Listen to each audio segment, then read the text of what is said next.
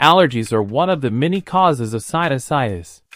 Certain foods, however, can either trigger or alleviate inflammation, and knowing which foods to avoid can help alleviate discomfort. Every year, approximately 37 million adults visit the hospital with sinus infections, particularly during the cold and flu season. Sinusitis is an acute or chronic inflammation of the sinus tissue lining. The most common infection is acute sinusitis, which usually clears up within a few weeks. Chronic sinusitis lasts a few months and can occur several times per year. Sinus inflammation is commonly caused by bacteria, but viruses and allergies can also play a role. However, regardless of the cause or severity of the infection, it is critical to keep a close eye on the foods you consume. Certain foods can cause sinus congestion and inflammation. 1. Stay hydrated. Dehydration not only impairs the body's essential functions, but also causes mucus to thicken. Thick mucus clogs the sinuses, creating an ideal environment for bacteria to multiply and causing inflammation. Drinking the recommended amount of water is essential for your body and nasal cavity. 2. Take antioxidants in plenty.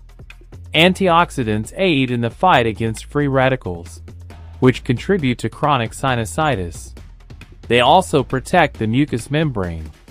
Antioxidants, vitamins, and minerals are abundant in brightly colored vegetables and fruits such as berries, kiwi, pumpkin, papaya, sweet potatoes, and pineapple. Pineapple also contains enzymes that break down sinus buildup and reduce inflammation. 3. Include peppers with your meals. Antioxidants aid in the fight against free radicals, which contribute to chronic sinusitis. They also protect the mucous membrane.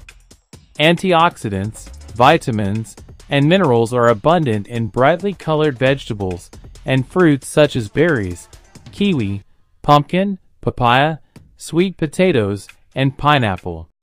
Pineapple also contains enzymes that break down sinus buildup and reduce inflammation. 4. Garlic and ginger can help too.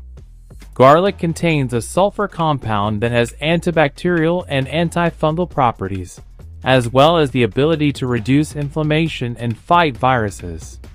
Ginger also contains anti-inflammatory and antioxidant properties that help to speed up healing and reduce pain and swelling.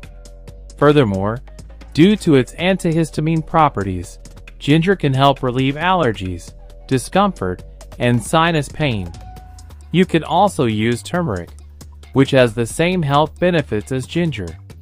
Food to avoid Dairy and related products are frequent sources of congestion and microbial growth. If you've had previous sinus infections, avoid dairy. Also, Avoid refined sugar because it is pro-inflammatory and increases mucus production. Tomatoes, which contain histamines, chocolate, cheese, gluten, and fruits like bananas, which can cause congestion, are also foods to avoid. What are some alternative treatments for sinus infections? Aside from food, there are other ways to avoid congestion such as running water through your nose to clear it of excess mucus. Inhale steam from the shower or lean over a hot water pan. To keep your nasal passages from drying out, use a humidifier in your home.